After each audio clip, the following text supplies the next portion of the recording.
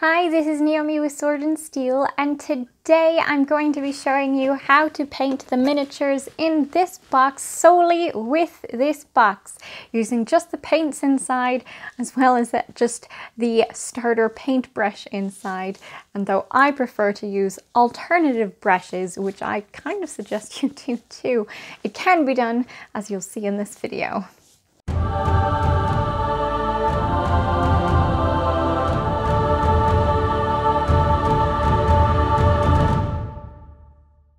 Before you even open this kit, you will need a good pair of hobby clippers.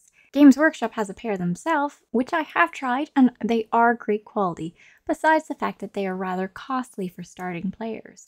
And these, which are Xuron, are less expensive and absolutely lovely. But what you are specifically looking for in a pair of cutters is very thin tips, as thin as the eye in the Infernus Marines preferably, so you can easily cut out the miniature pieces and any future miniatures off the sprue without leaving a big wad of plastic on the miniature that could easily happen if you happen to use unqualified cutters. You may also want a good hobby knife, which you do not, and I repeat, you do not use to cut the miniatures off the sprue. These knives are solely used to clean any excess plastic off the bits you have already cut off with the clippers. The knife that I'm using is the latest Games Workshop hobby knife, which I like just fine, but there's also this one is great brand Zona. If you prefer not to use a knife though, you could file the excess off with a fine set of files or use a mold line remover, which Games Workshop has available to buy singly or you can find in the paint and tool set.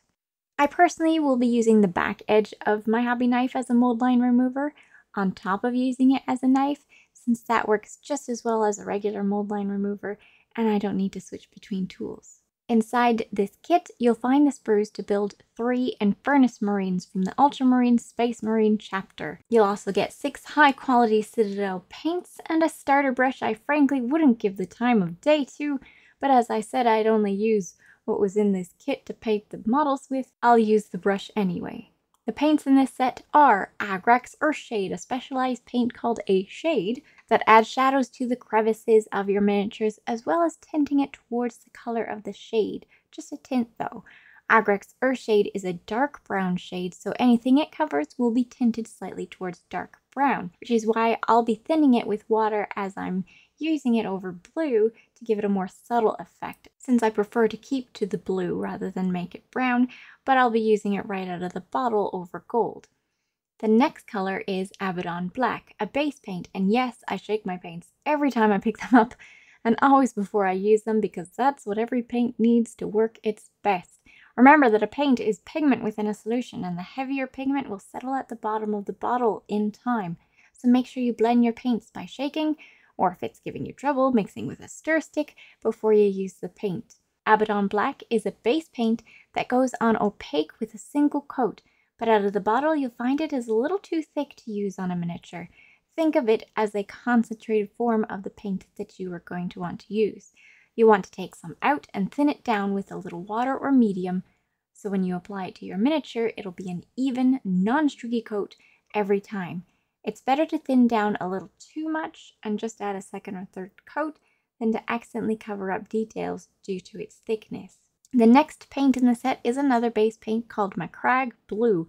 This base paint, much like Abaddon Black, is thicker than what you would apply to your miniature directly, so you'll be thinning this one down as well before you apply it to your model. The fourth paint in the set is less of a paint and more of a paste, really. It is called Armageddon Dust, and it should not be applied with a paintbrush at all. Its use is to apply it to the base of your model so that when it dries, it'll look like ground that your Space Marine is traveling over.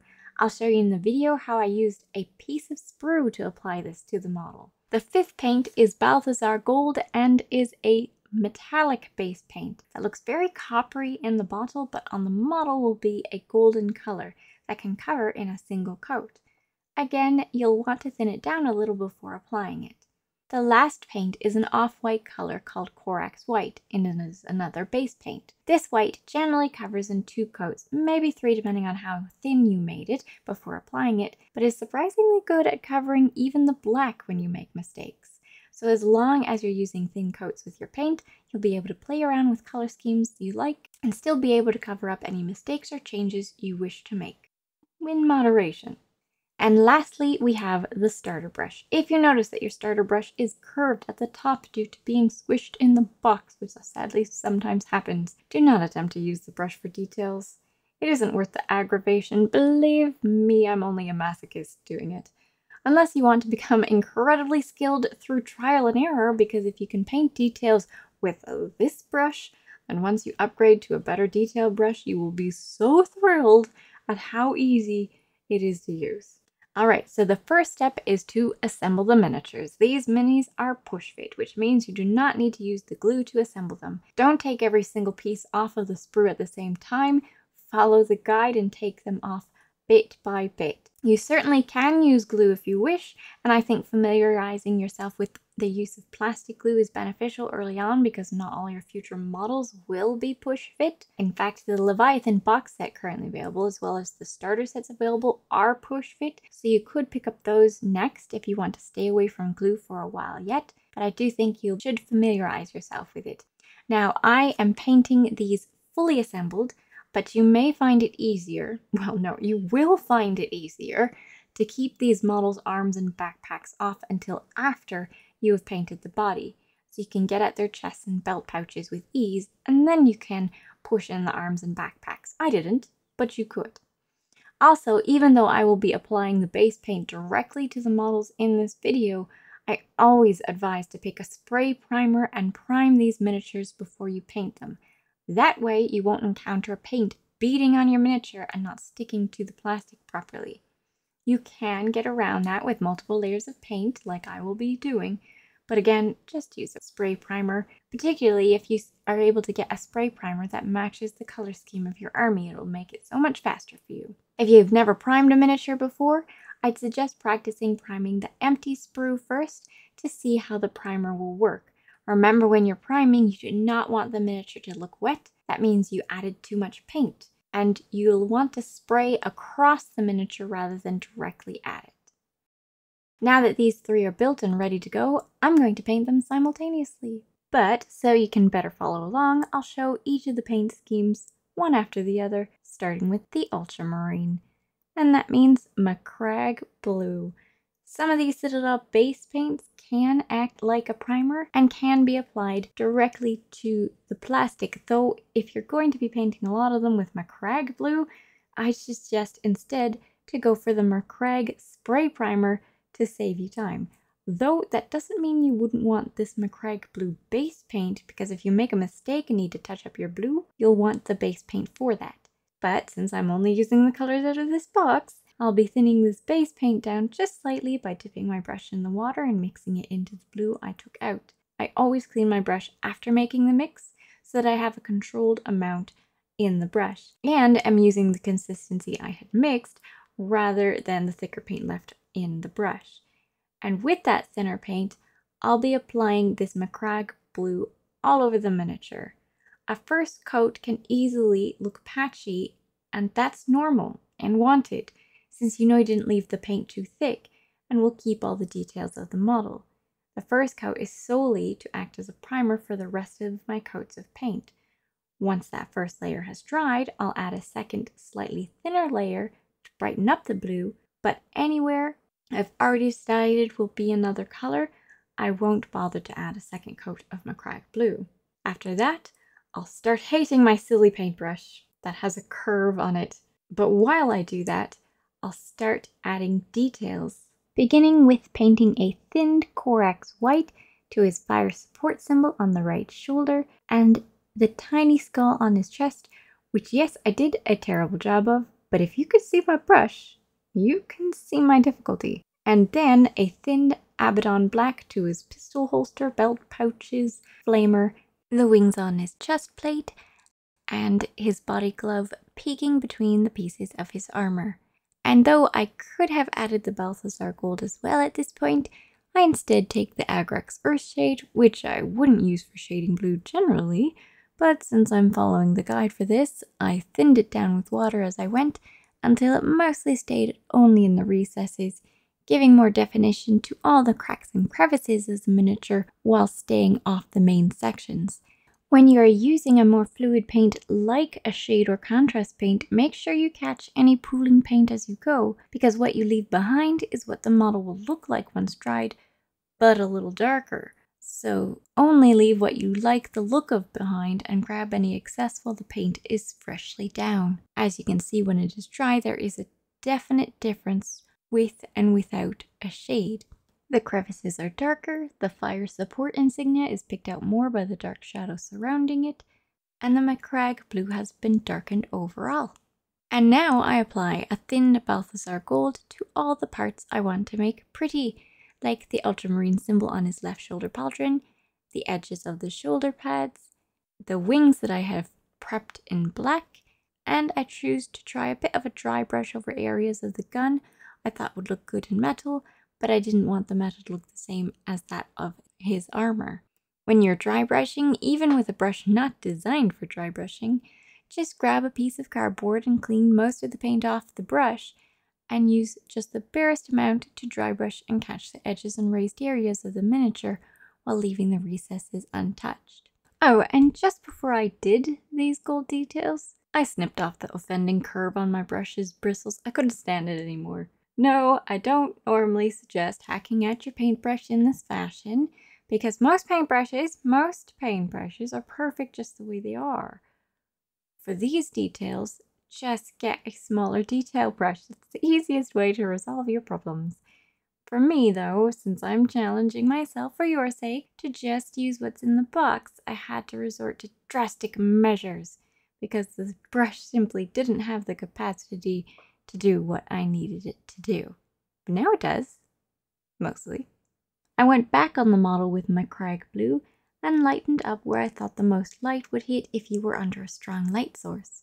Adding the lighter color in circles or ovals on curved parts facing upward, or as lines across flat areas that have light hitting their surfaces. If you are painting multiple marines at the same time, which is always a good idea, you can highlight different areas on each of them and see which places look more natural and adjust the other marines to match.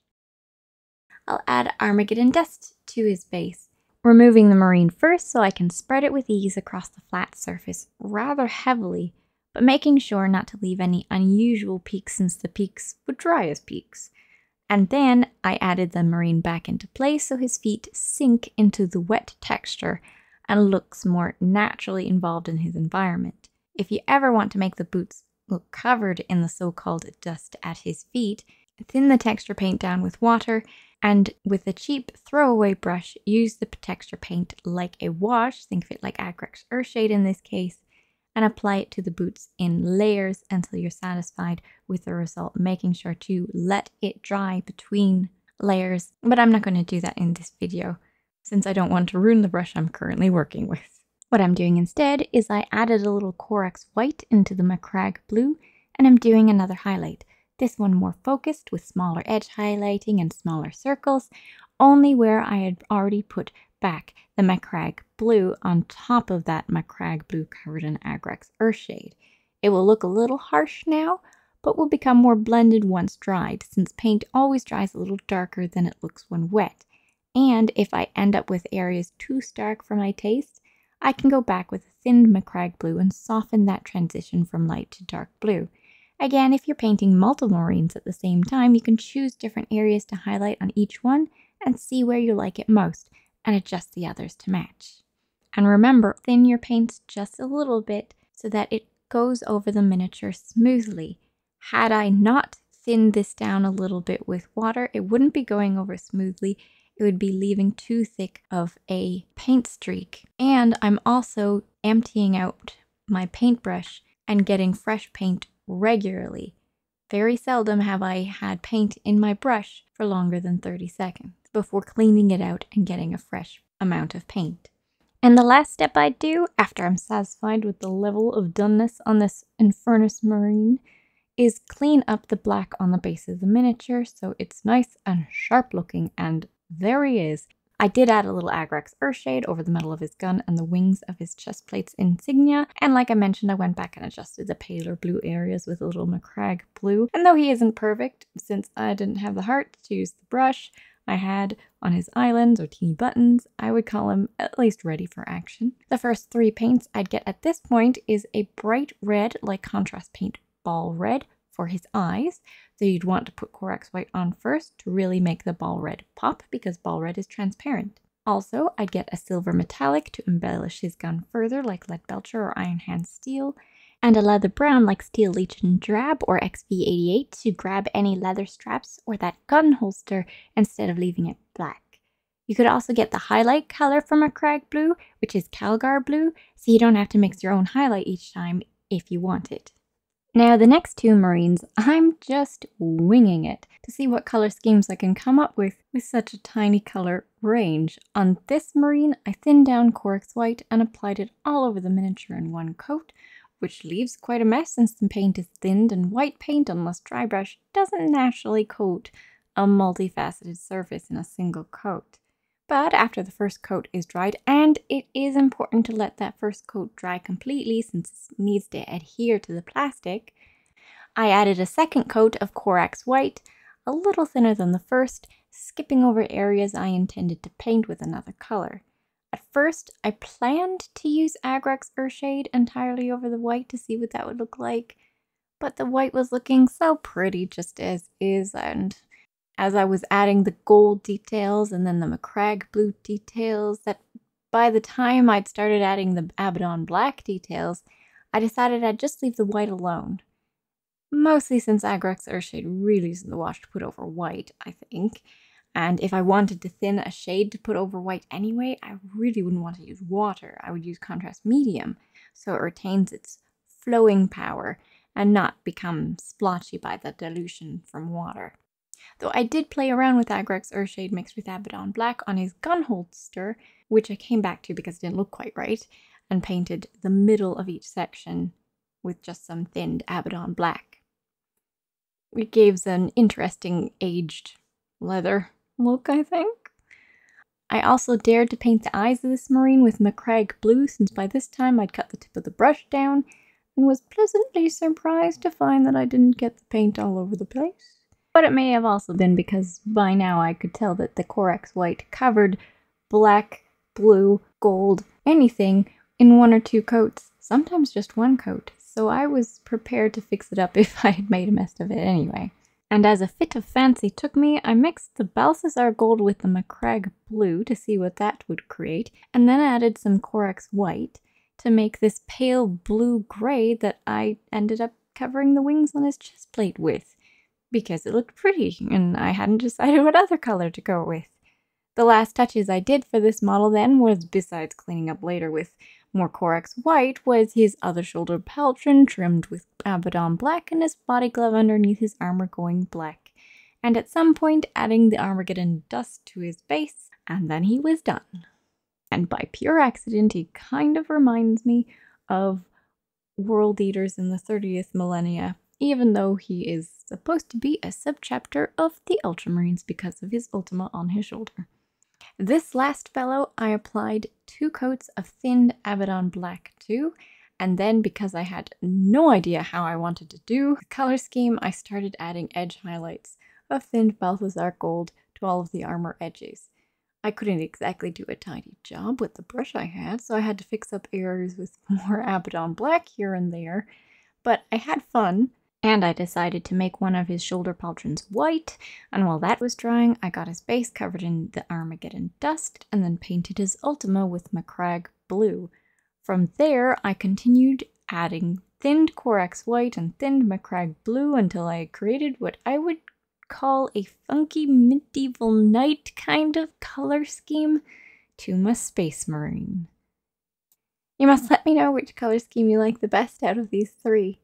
And make certain to ask me any questions you can think of about painting Space Marines. Well, thanks for watching. I hope you enjoyed. Make certain you let me know which of the three Space Marine color schemes you like the best, if at all, if you didn't like them.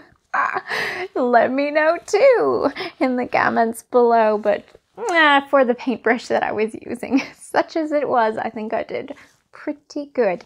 Don't let your painting skills be limited by the paintbrush. That's just fine. That's just a fine brush for using for basing and for not even for dry brushing, for basing like I did, but uh, get yourself some nicer brushes, uh, particularly for doing those details because it is painful otherwise.